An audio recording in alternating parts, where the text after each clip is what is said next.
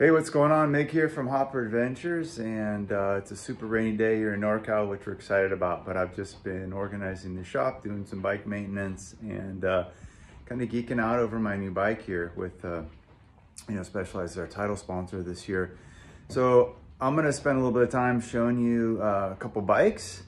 One will, yeah, of course, be the Diverge STR, but the other is gonna be uh, my first adventure slash cross slash gravel bike, Salsa, made by Sean Walling in Petaluma.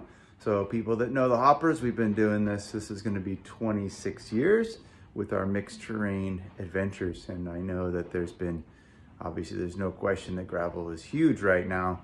And some people say, well, it's just coming back full circle to uh, the Cunningham drop bar bike or the specialized uh, Stumpjumper with drop bar. But anyways, I'm not gonna here to debate that. I'm just here to tell a story. So I'm gonna take some time and go over what the, what the salsa was was doing and uh, then come and take a look at the Diverge. So hope you find this interesting. So here's my Salsa original drop bar steel uh, adventure bike. Not all the parts are on here that are originally uh, on here when I built it.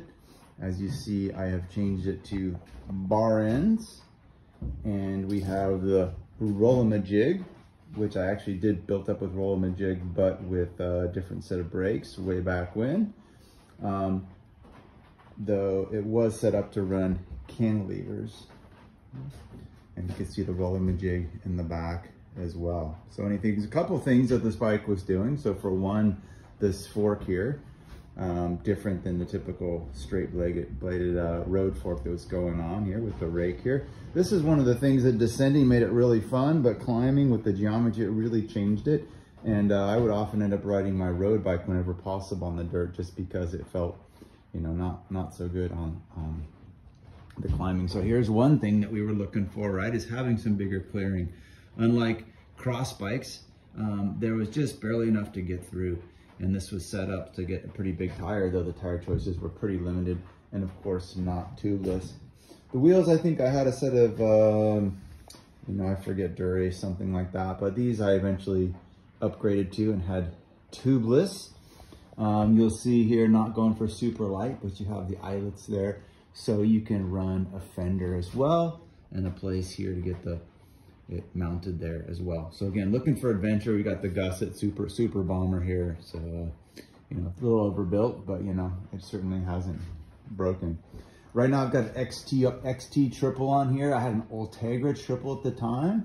So, you know, with the mullet right now and the SRAM gearing and with Shimano that we have a big range with two by or one by. Um, this was to ride the super steeps in NorCal and then to have the gearing to do the big road spins on the way over there. XTR derailleur. I think I had an Ultegra originally. And then we have the Michael Cherney chili pepper sweetness there. Ritchey dropouts. We've got the eyelets right there. So for the fenders, and right now I'm using it for a rack on a tag along for my daughter. I see cantilever posts. Pretty good clearance. And then we've got this guy right here for bolting on the fenders. This was a little clunky. I wasn't stoked about this. I'm not sure what else we could have done, but this had a bolt onto here. So then you'd have the, you know, the drop down here and then you have your cantilever um, brakes right there. So it works good for the thing right now. And then um, we'll come around to the other side of the bike and take a peek over there. Now, this is where with the seat stays and chain stays and the length and the diameter that's kind of evolved over time. But you can see there's clearance here. Right now I've got, I think some Ramblers, uh, what do we got, 40 Cs on here right now, which is a pretty big tire and there's some clearance for some mud, but you couldn't go, you couldn't go Mongo on there right now. Anyways, this is what's up with the Salsa and uh, one inch quill stem Chris King, of course, I've never replaced that. Being steel, I've never broken that. And uh, Ritchey bars, Ritchey seat post. All right, now we're gonna go take a look at the Diverge. So now we're gonna take a look at the 2023 Diverge here, Super Salmon sparkly color. And uh, this is a pretty interesting engineering design they have, and I know there's been a lot of talk about that. I think that's part of the purpose as well as to, you know, improve your performance. The Diverge, I think their first bike was uh, 2014, launched at the King Ridge Grasshopper, and I know that the world was pretty surprised when they tried to slot a bike in between a cross bike uh, and a road bike. Um, they did a pretty good job with it. You know, they didn't, it wasn't, it, they didn't really nail it in terms of the capability of the tires, uh, but now it can pretty much do everything. And as you can tell with this and the question at hand is really, okay, so now are we getting into a rigid hardtail mountain bike? So I'm not here to debate that. There's lots of options. Um, the quiver killer idea is a great idea, but if we're, uh, um, the bike fanatics that we are, the reality is, is we like to have more than one bike. So some similar things that they were doing, right? So check out, we've got some, uh, actually, I'm not gonna try and compare this with the Salsa. Let's just talk about what this does and what this has right now here, right? So it's got uh, the uh, wireless shifting, which is sick. And this is something back in those days that would have blown our mind with the Salsa, right? I think I had a you know, a nine speed and maybe you get a 28 out of that or a 30. And this is, we have the, the full Eagle mullet with the force uh, single chain ring. So compare that single to a triple. The clean, the cleanliness of it, this is one of my things being the, the Super Tweaker Virgo, is not having cables everywhere, right? And the ferrules dealing with the housing, etc. So that's something that I just absolutely love. And the cockpit, you know, super cleaned up. I think that's one of the things that's, um, you know, really added to the aesthetics of the bikes as well as the size of these, right? So we've got major clearance in here.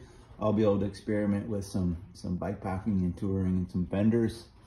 Um, and then they have the, the lockout, so we never would have imagined except for maybe Otis Guy and the soft ride with the stem, right? So this has some suspension in more like the Cannondale Headshok um, that happened in a while. So that gives a little buffer in there that can get locked out. This has a little bit of suspension there. Anyways, I didn't take it out and rail it in the rain, but that'll be tomorrow. So that's uh, the two bikes, and now I'm gonna put them side by side. Now before I uh, show you some of the measurements, just to do a quick comparison of these, uh, you know, not being an engineer, but some of the things that are relative to me as a rider.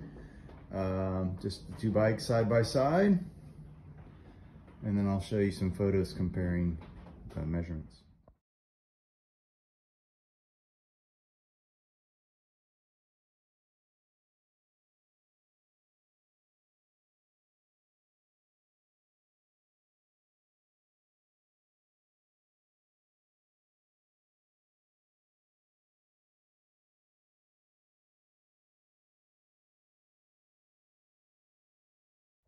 There's another piece to the um, Diverge that I want to highlight. I don't fully understand this work, so I won't speak to this right now, but hopefully out on my rides, like tomorrow, I think we're gonna go do a big one.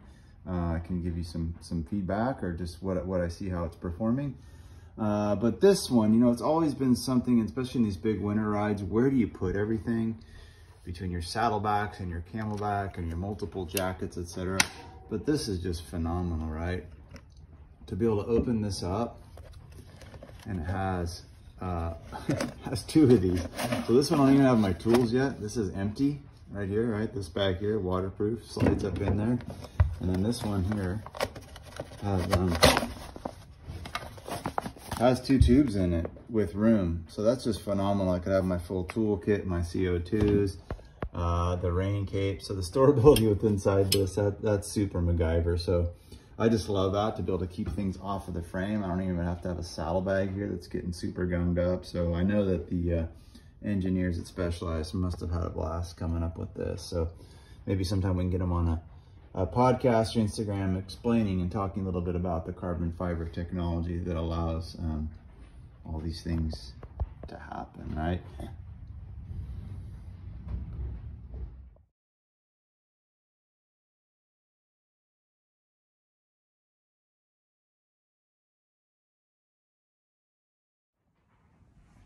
All right, so that's my little uh, summary and comparison of the Salsa gravel adventure bike and the Diverge uh, adventure gravel road just bike bike, all right? And then coming up next, I've still got my original road bike, which is a 1985, 86 Miyata um, with the, I think, first or second generation Dura-Ace parts. And then uh, we'll show you uh, the new Specialized bike, which is, um, I mean, there's sometimes that your mind gets blown and this is just like kapowie with the Aethos. Anyways, Hope you guys get out with the break of the storm and enjoy the weather or the snow.